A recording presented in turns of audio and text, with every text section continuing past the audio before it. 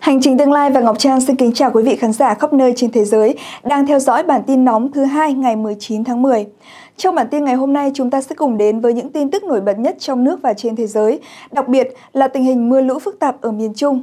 Ngọc Trang thay mặt cho ban biên tập Hành trình tương lai, xin gửi lời chia sẻ cảm thông sâu sắc đến bà con miền Trung đang trải qua mưa lũ khó khăn. Để có thêm thông tin chi tiết về thời tiết trong những ngày tới, mời quý vị và các bạn cùng đăng ký và theo dõi kênh Hành trình tương lai dự báo thời tiết.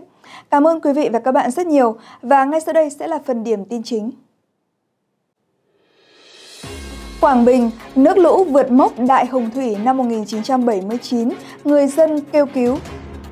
Đã tìm thấy 22 thi thể các quân nhân đoàn 337 mất tích vì sạt lở đất. Hơn 300.000 học sinh Hà Tĩnh nghỉ học tránh lũ.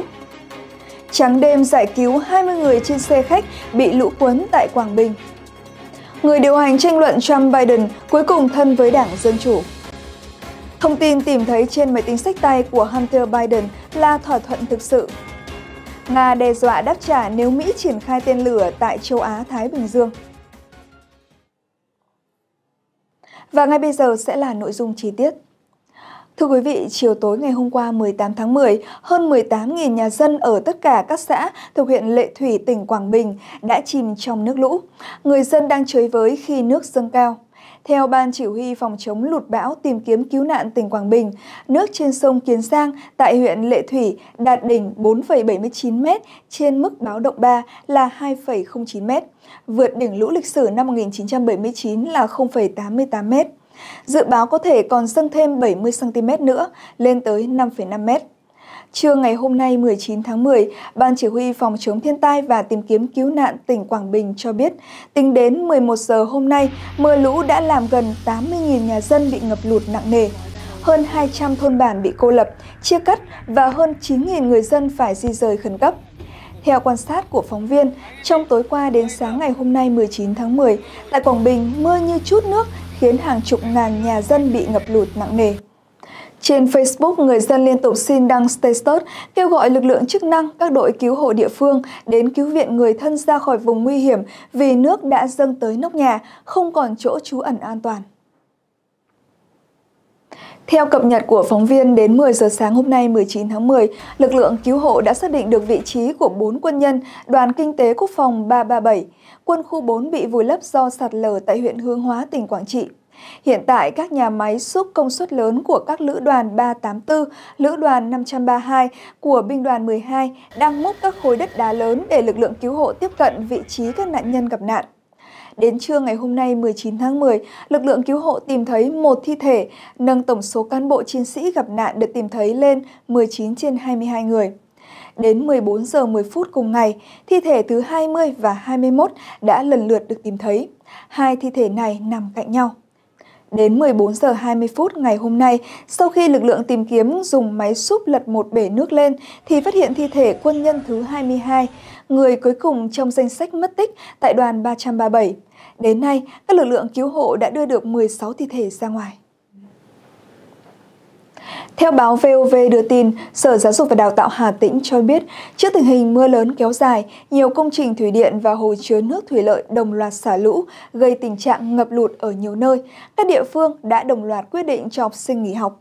Toàn tỉnh có hơn 300.000 học sinh tại 667 trường từ bậc mầm non đến trung học phổ thông ở 13 huyện thị xã nghỉ học từ sáng ngày hôm nay.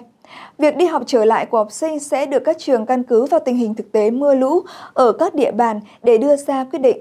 Sở Giáo dục và Đào tạo Hà Tĩnh cũng chỉ đạo trong quá trình học sinh nghỉ học, các trường tổ chức trực 24 trên 24 giờ, theo dõi chặt chẽ diễn biến của mưa lũ. Các trường học cần chủ động phương án bảo đảm an toàn tài sản, cơ sở vật chất, công trình trường học, chủ động di rời máy móc thiết bị dạy học, tài liệu hồ sơ lên tầng cao hoặc chuyển đến nơi không có nguy cơ ngập lụt để tránh hư hại. Ngoài ra, các trường học dựa vào thực tế của mình tạo điều kiện cho người dân ở các vùng ngập lụt đến tránh trú, đảm bảo an toàn. Truyền thông Việt Nam đưa tin lúc 1 giờ 18 phút ngày hôm nay, Công an huyện Bố Trạch nhận được tin báo về việc xe ô tô khách mang biển kiểm soát 43B 02454 của công ty trách nhiệm hữu hạn du lịch Quảng Hà ở Đà Nẵng do Phạm Quốc Cường 35 tuổi ở Hà Tĩnh điều khiển chạy hướng Bắc Nam. Trên xe có 20 người, gồm người lớn, trẻ em, tài xế và phụ xe. Do trời mưa ngập lũ nên đã đi từ đường tránh thành phố Đồng Hới lên tỉnh lộ 563. Đây là đường đi lên xã biên giới Trường Sơn, miền Tây huyện Quảng Ninh.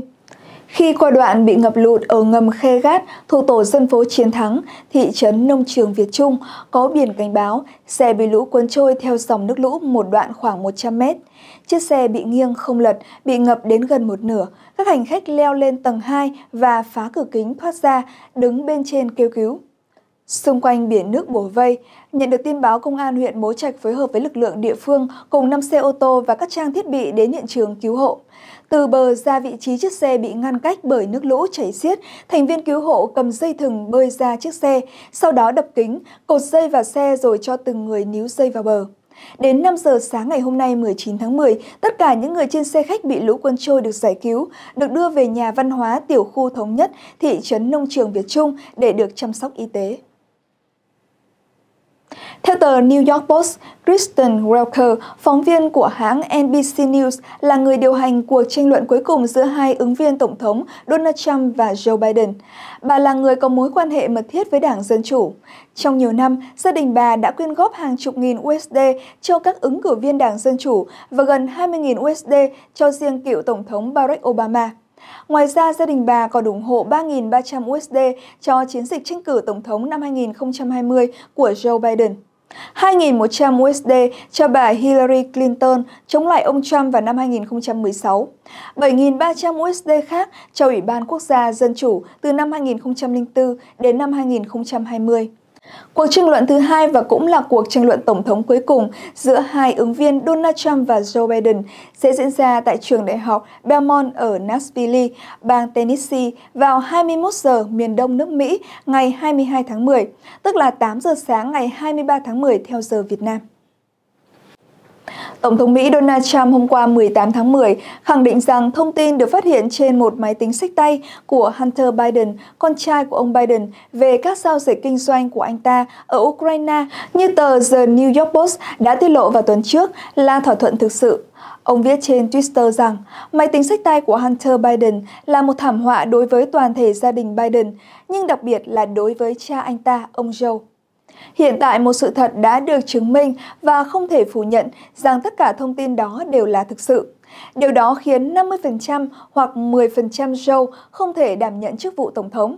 Ông tiếp tục tweet rằng Joe Biden là một chính trị gia tham nhũng và mọi người đều biết điều đó. Bây giờ bạn có bằng chứng, có lẽ như chưa từng có trước đây về một chính trị gia lớn. Đây là vụ bê bối chính trị lớn thứ hai trong lịch sử của chúng ta. Thông tin mà Tổng thống Trump đề cập là một báo cáo vào tuần trước từ New York Post, trong đó có một email có mục đích giữa Hunter Biden và một cố vấn của công ty năng lượng Ukraine, Burisma Holdings. Người này đã cảm ơn Hunter Biden vì đã cho một cơ hội để gặp Phó Tổng thống Joe Biden khi đó. Hãng thông tấn Sputnik đưa tin, đại sứ Nga tại Mỹ Anatoly Antonov nói trên kênh One Russia rằng nước này sẽ đáp trả tương xứng việc Mỹ triển khai tên lửa tầm trung và tầm ngắn tại khu vực châu Á-Thái Bình Dương. Mỹ đã rút khỏi hiệp ước các lực lượng hạt nhân chiến lược tầm trung với Nga vào tháng 8 năm 2019. Trong khi đó, Hiệp ước cắt giảm vũ khí chiến lược mới dự kiến sẽ hết hiệu lực vào tháng 2 năm 2021. Chính quyền Tổng thống Mỹ Donald Trump ban đầu phản đối việc gia hạn hiệp ước cắt giảm vũ khí chiến lược mới với Nga. Thay vào đó, Washington kêu gọi một thỏa thuận đa phương với Nga và Trung Quốc. Đại sứ Antonov cho biết Nga đã thực hiện các cam kết đơn phương về việc không triển khai các tên lửa tầm ngắn và tầm trung cho tới khi Mỹ triển khai những tên lửa như vậy tại một số khu vực. Vừa rồi là những tin tức đáng chú ý trong bản tin nóng ngày hôm nay của Hành trình tương lai và ngay bây giờ chúng ta sẽ cùng đến với phần nhân sinh cảm ngộ như mọi khi quý vị nhé. Thưa quý vị, nhắc đến phụ nữ thì có muôn vàn điều cần nói. Và để tiếp tục chủ đề bản tin lần trước, ngày hôm nay hãy cùng Ngọc Trang thả một chút tâm tư về một nửa thế giới quý vị nhé. Rốt cuộc thì vẻ đẹp của con người, đặc biệt là người phụ nữ, đến từ đâu? Có phải đến từ quần áo, trang sức mà họ mang trên người hay đến từ một trái tim thiện lương và một tâm hồn trong sáng thuần khiết? Buông bỏ những gánh nặng mệt mỏi trong tâm, nuôi dưỡng cho mình một thế giới nội tâm phong phú tự tại, tràn ngập sự bao dung sẽ là điều giúp những người phụ nữ trở nên xinh đẹp và trang nhã nhất. Trong ấn tượng của nhiều người, phi tần của vua chúa luôn là những gia nhân tuyệt sắc. Nhưng thực tế, lịch sử chứng minh rằng có những bà hậu bà phi vẫn được đức vua hết mực sủng ái, cho dù sở hữu vẻ ngoài không hề nổi bật, thậm chí xấu đến ma chê quỷ hơn. Lịch sử có ghi chép về một kỳ nữ, tên gọi là Trung Ly Xuân, còn gọi là Trung Vô Diệm. Diện mạo xấu xí, nhưng sự hiền đức, nhân hậu và tài năng của bà lại đã lưu truyền mãi cho hậu thế. Người xưa có câu, lấy vợ coi trọng hiền đức. Câu chuyện kén vợ sau đây sẽ cho chúng ta một hình dung rõ ràng hơn. Có một vị quốc vương trẻ tuổi tổ chức cuộc thi kén vợ hiền. Rất nhiều tiểu thư nhà giàu xinh đẹp nô nức đến dự. Ngoài ra còn có cả một cô gái xuất thân bần hàn, con nhà nông dân cũng đến dự thi. Câu hỏi thứ nhất mà vị quốc vương đưa ra là Khoảng cách giữa nơi mà mặt trời mọc và nơi mà mặt trời lặn là bao xa? Các tiểu thư bối rối, im lặng. Cô gái nông thôn kia bình tĩnh đáp Thưa quốc vương, khoảng cách ấy đúng bằng một ngày. Quốc vương nghe xong lấy làm tâm đắc, gật gù, lại đưa ra câu hỏi thứ hai. Thế khoảng cách giữa trời và đất là bao xa? Liền lúc đó một tiểu thư con một vị đại thần trả lời ngay, Thưa quốc vương, thần thiếp nghe nói có câu rằng, kiểu vạn lý trường thiên, nên thần thiếp nghĩ khoảng cách giữa trời và đất là 9 vạn dặm. Một tiểu thư con của nhà giàu có cũng tiếp lời, Thưa quốc vương, đường tăng từng đi qua 10 vạn 8 ngàn dặm để lấy kinh, nên thần thiếp nghĩ đây chính là khoảng cách giữa trời và đất. Lúc này cô gái nông thôn bước ra từ tốn nói, Thưa quốc vương, dân nữ nghĩ rằng khoảng cách giữa trời và đất bằng khoảng cách giữa mở mắt và nhắm mắt. Quốc vương vừa cười vừa nói, đúng vậy, nàng nói rất đúng. Các thiên kiêm tiểu thư khác trong lòng cảm thấy vô cùng lo lắng. Cuối cùng quốc vương lại ra một câu hỏi nữa. Khoảng cách giữa lời nói thật và lời nói dối là bao xa? Câu hỏi vừa đưa ra, tất cả mọi người đều bối rối vô cùng, xì xầm hỏi lại nhau rằng giữa nói thật và nói dối còn có đơn vị khoảng cách sao? Cô gái nọ không chút do dự nói ngay, Thưa quốc vương, khoảng cách ấy đúng bằng khoảng cách giữa hai lỗ tai. Khi dùng một tai nghe lời nói từ một bên thì thường sẽ nghe được lời nói không thật.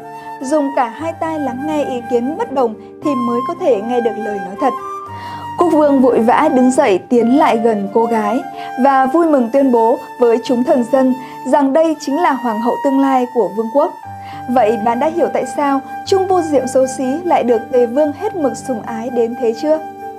Thưa quý vị, vẻ đẹp của một người phụ nữ không phải từ phấn sáp, từ tô ngọc chuốt hồng, điểm trang. Vẻ đẹp thật sự xuất phát từ ý chí kiên cường và từ nội tâm mạnh mẽ. Người phụ nữ xưa có tư đức, công dung ngôn hạnh, đi đứng đều có nét riêng. Ngay cả từ mỹ nhân cũng có một nội hàm sâu sắc hơn là chỉ về bề ngoài. Mỹ nhân hay người đẹp đầu tiên phải đẹp từ trong tâm hồn, đó mới là cái gốc của mọi nhan sắc. Thưa quý vị, chúng ta sẽ tiếp tục chia sẻ về chủ đề ngày hôm nay ở những chương trình sau quý vị nhé. Nếu có suy nghĩ hay cảm nhận gì, quý vị đừng ngần ngại để lại bình luận bên dưới hoặc tham gia group và fanpage của Hành trình tương lai trên Facebook. Đường link chúng tôi có để ở phần mô tả bên dưới mỗi video. Trong lúc thời gian rảnh rỗi, quý vị hãy thử tìm hiểu về khí công xem sao vì theo như Ngọc Trang được biết, đây là một liệu pháp giúp chúng ta duy trì một sức khỏe tốt, tăng cường sức đề kháng, rèn luyện ý chí tự tin hơn và giảm bớt căng thẳng trong cuộc sống. Nếu yêu mến chúng tôi, đừng quên đăng ký hai kênh mới là Hành trình tương lai dự báo thời tiết và Hành trình tương lai huyền bí quý vị nhé. Còn bây giờ xin chào tạm biệt, hẹn gặp lại quý vị trên kênh Hành trình tương lai dự báo thời tiết.